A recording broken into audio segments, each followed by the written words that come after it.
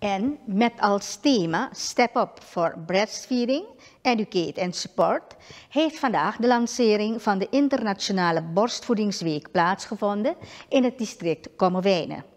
Directeur Geander Zekoel van het ministerie van Volksgezondheid geeft aan dat het geven van borstvoeding meer is dan alleen kosten besparen. Borstvoeding nog steeds het beste is, is de beste voeding voor uh, de pasgeborenen. Het bevat genoeg voedingsstoffen, het bevat genoeg beschermstoffen voor dat kind. Het is in principe uh, goedkoper kan je zeggen, want uh, je behoort gewoon alleen wat gezonder te eten.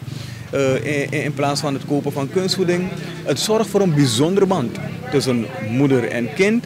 En, uh, en ook de moeder heeft er voordelen aan. De Pan American Health Organization, PAHO, vertegenwoordiger Karen Lewis Bell, riep alle moeders op hun kinderen zo lang als mogelijk borstvoeding te geven. Volgens Karen hebben kinderen niet alleen tot hun zesde maand borstvoeding nodig, maar tot een leeftijd van twee jaar. De vertegenwoordiger geeft aan dat het belang van moedermelk meer voordelen heeft dan alleen het versterken van de band van moeder en kind. They are less likely to be overweight or obese. They are less prone to developing diseases such as vomiting, diarrhea, asthma, and also chronic diseases such as diabetes later in life.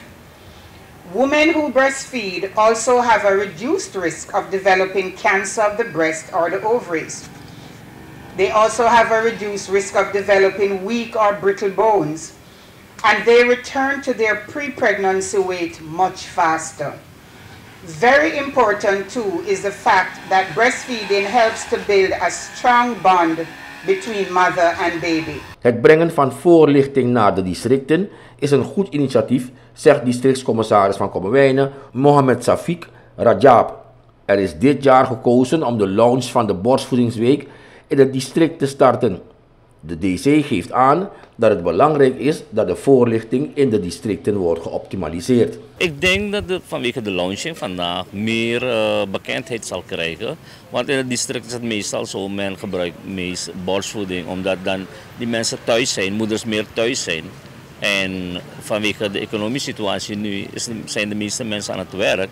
Maar desondanks gaan we moeten promoten dat borstvoeding de beste voeding is voor kind. En preventief, zoals gezegd, is dat ook goed is voor de moeder.